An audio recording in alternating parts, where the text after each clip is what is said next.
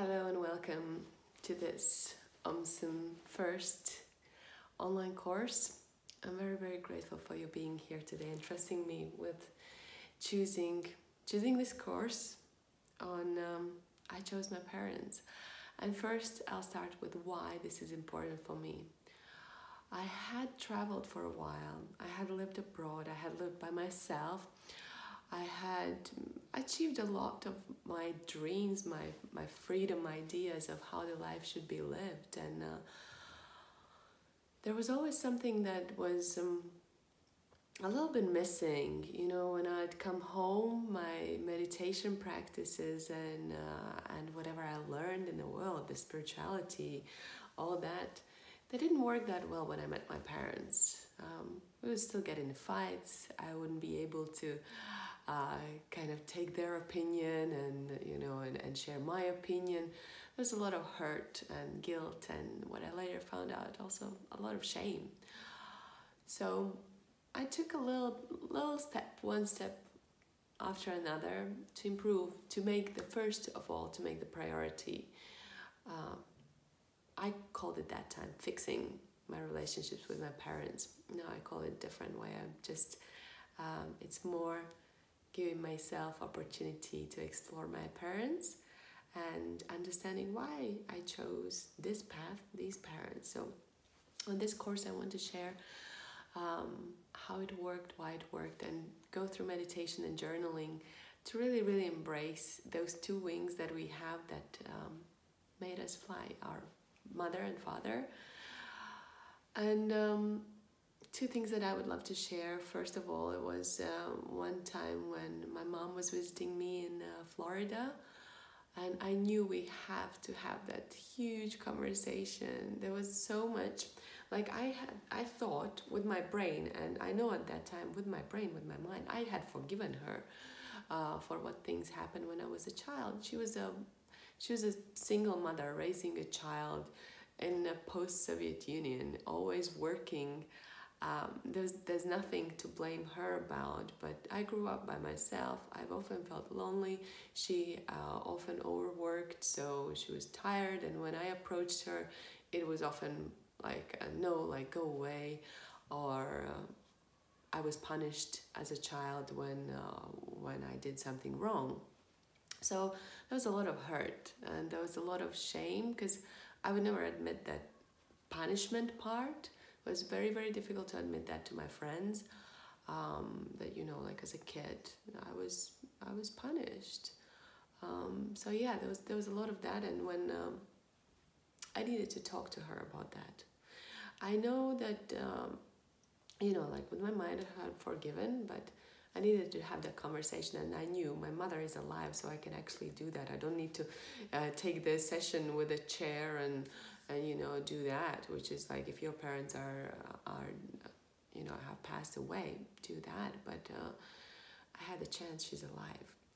So it was a it was a disaster at first. It, like i'm not i'm not gonna do you know like rose petals and, and everything and and uh, uh, rose tinted glasses for this one.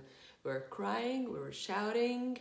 Um, there was a day of of silence, silent treatment towards me, and I was, you know, like I was really pissed that she has traveled so far. Now she's, you know, like angry, and why did I have to, like, you know, initiate the conversation? But what I heard in this conversation was her actually asking me forgiveness for, you know, like for the things that where she hurt me. She knew them really well, and she had thought that she had actually asked forgiveness which she probably had uh, as a Christian to, you know, like in a church, but never to me.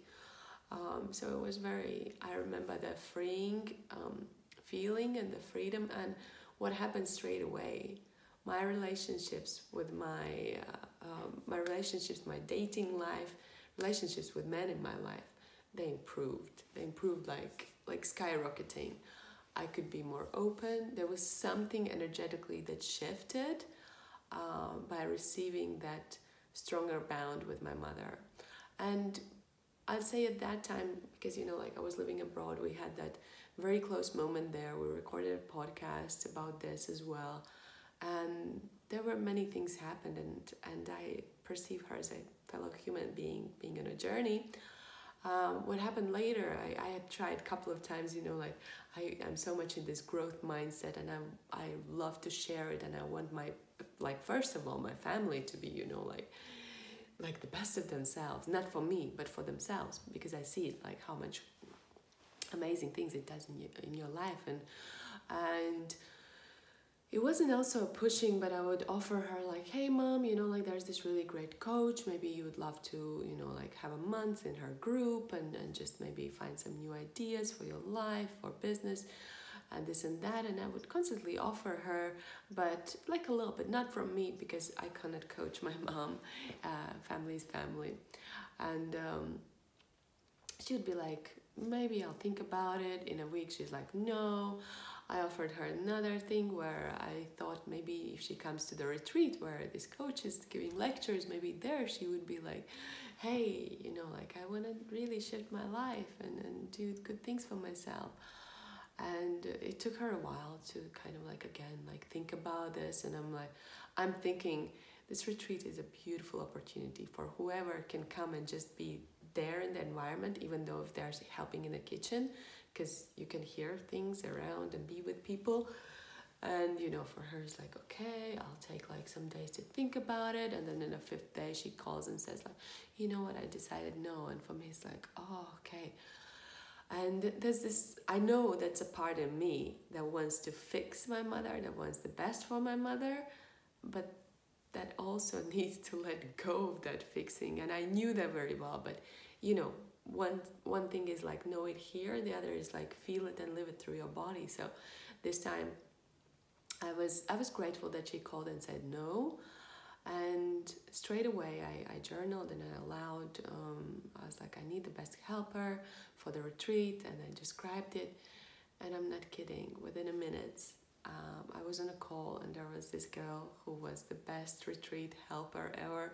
When i was sitting in the retreat I clearly knew like I could have ever like if if it was my mother there it, it just wasn't the right person. Like that would be a disaster in a way of like how um, much I would have to do there and how little I would learn the trust and how little I would enjoy the, actually the process of, of organizing and being in a retreat as a host.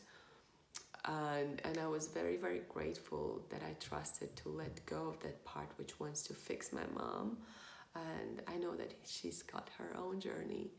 And uh, we kept the you know like nice beautiful relationship um, and I got a beautiful retreat helper so both ways it worked out miraculously so this is something that I also want to see that it's not only like it doesn't work the way like I fixed relationship with my parents and now it's perfect. No, I fixed my inner, um, my inner kind of knowing about my parents, like what I think, what I what I perceive, what I want to do with them, what I expect from them, what I expect from me of being with my parents, and other things align, and that is very very powerful. And the second one was with my dad.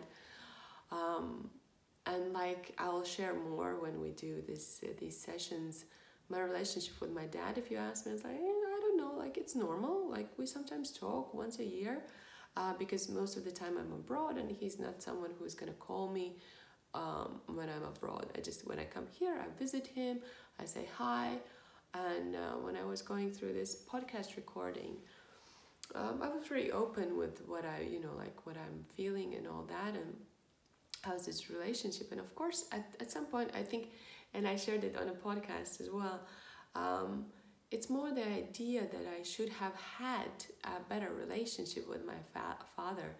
It's not that we don't have it but it's like well maybe as a kid i missed him when i heard other kids saying that oh they spend their weekend with their parents and you know it's two parents or, or maybe just with their dad.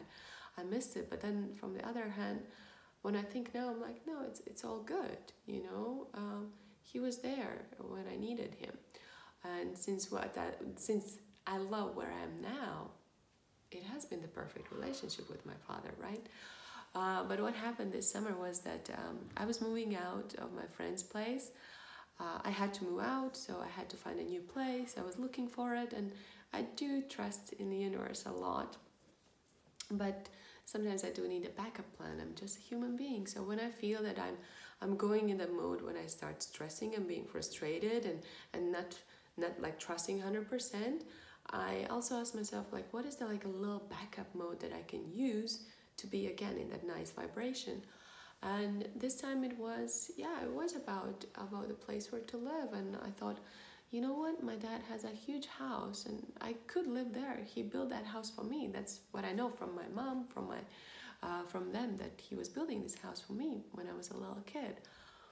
Uh, but i never lived there well i think first three months of my life or something like that but uh, and i was like okay i need to ask this question and also out of curiosity to know like like what would he say you know like what what would be there um, and it was a casual conversation, just a summer day. And I'm like, well, dad, you know, like I have to move out from a friend's place.